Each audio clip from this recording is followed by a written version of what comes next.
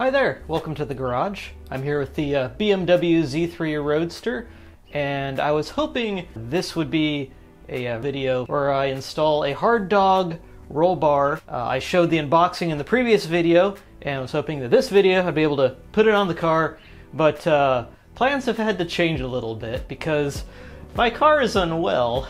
My son is very sick and he needs some help. The Roadster, unfortunately, is not feeling too well because it has a uh, radiator leak. Back in 2019, I did a full coolant system refresh on this BMW Z3's uh, M52TU uh, 2.5 liter engine that not just included a, uh, a, new radiator and the new radiator hoses, but also a new thermostat, thermostat housing, an upgraded water pump, and also replacing the coolant hose that sits underneath uh, the intake manifold. Pain in the butt to get to, so if uh, that's in your future, feel free to click on the link in the description with my whole coolant system refresh series. So as part of that refresh, I also took the opportunity to upgrade a few parts for maybe some possible track use or autocross. And so what I did is I put in an upgraded uh, Stewart Racing water pump and also a Mishimoto all aluminum radiator designed for the uh, M52 TU and the M54 engines. And unfortunately, that's starting to leak now. After I did that whole coolant system refresh and upgrade, I did a coolant system pressure test, which came back uh, great. It looked like it was a sealed system, but ever since then, something has been just a, a little bit off. Whenever I check the coolant levels about every I don't know, two to three months, the uh, the bobber on the reservoir is always just like a, a little bit low. No, sir, I don't like it. And it's just like a little bit of fluid, and but still shouldn't do that, right? I mean, the coolant system is supposed to be a closed system. Really, the only opening on the coolant system that's supposed to be there for the M52 TU and M54 engines is the coolant cap. That coolant cap serves as kind of like a safety valve, so if you have really high pressures in your coolant system, say your engine is overheating, uh, that cap is supposed to open at 2 bar of pressure and uh, let out some of that coolant, some of that steam, and uh, reduce the pressure and hopefully save the uh, engine in the process. But I haven't had any overheating issues since I did the coolant system refresh. In fact, I've never had any overheating issues on this car. So it's kind of mystery as to where that fluid was going because, uh, well, it wasn't showing up in any of the oil analyses and I couldn't spot it with the eye. Okay, so I decided, oh shit, buddy, I gotta dig a little deeper. But now here we are in spring 2023 and I took the car out uh, just last week. Uh, for just some errands, and when I came to park it, I smelled that sweet aroma, that sweet, sweet aroma of BMW coolant. And I popped the hood, uh, inspected the engine, and found sure enough that uh, a dribble of coolant was coming off the side of the Mishimoto radiator and onto the floor. We're all trying to find the guy who did this. Now, supposedly, this radiator has a lifetime warranty from Mishimoto, and I'll be filing a claim for that later. Now, to help with that claims process, I'm going to include some photos of the leak actually happening, and I'm going to go one step further. I'm going to go ahead and do a UV dye test. I've got this uh, bottle of uh, UV tint or UV dye that goes into the coolant system. This is uh, one ounce of UV dye. It's good for up to eight liters of coolant. This engine has uh, a capacity of 10.5 liters, so it should be enough to cover it. I'm gonna put the UV dye into the coolant system. I'm gonna run the car uh, to give it a chance for the thermostat to open up and the coolant system to flow the UV dye around. And uh, then I'm to stop and go ahead and shine a UV light under the engine hood and show you and Mishimoto where this leak is coming from. Funny story about this UV dye. I've had this dye bottle about four years. Um, in February 2019 is when I ordered the Mishimoto uh, radiator for this car.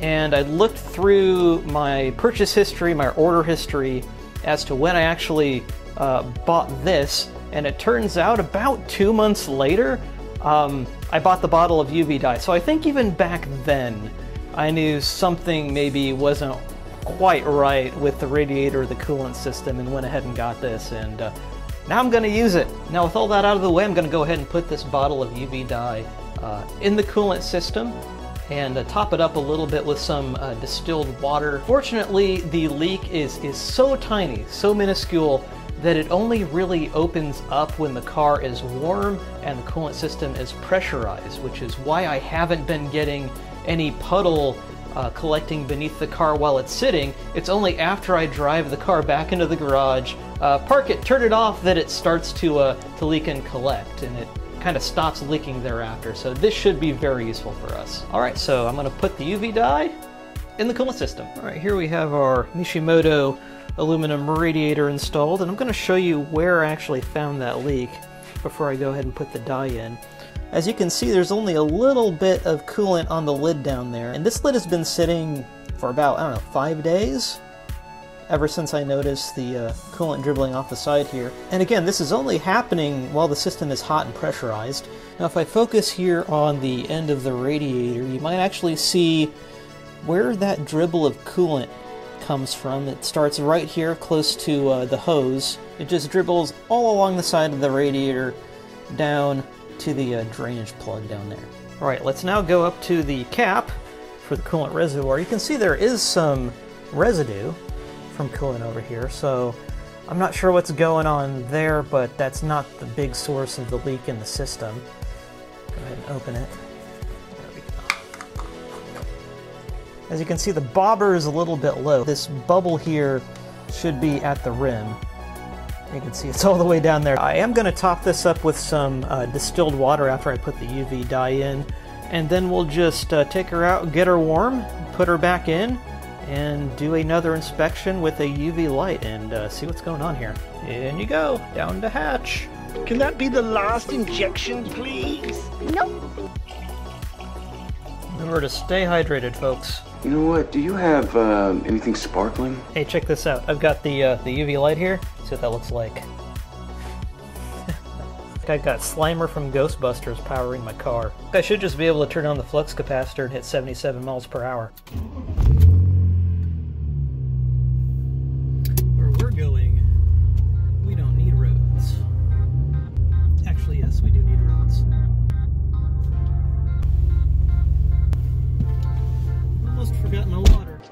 かったどういたしまして、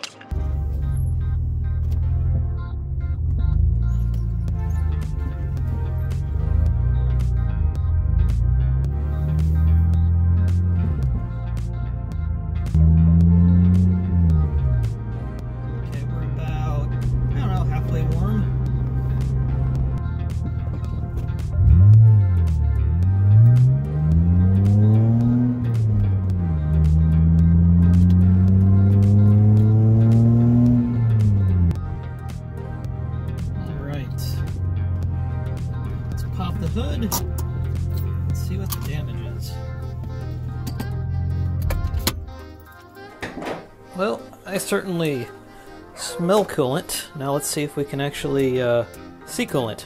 Turn on my little light here and wow, that is that is bright. I don't even need any sort of uh, UV lens to see this through. Look at that. Already collecting at the bottom. I've uh, I think I've found the problem here. Lovely. I'm glad I put some dye in because you can see here too that there's actually some dye coming up through uh, the connection here with the radiator hose up top. Something to look into. Let's go over to the reservoir and cap. I don't see anything here. Looks like the cap is clean. It's just this spot here on the side. Yep. Now look at that. It is actually starting to drip onto the lid now. So there you have it, one leaky radiator diagnosis with uh, the UV dye kit. I mean, I knew it was leaking uh, beforehand, and uh, now it's uh, leaking and glowing.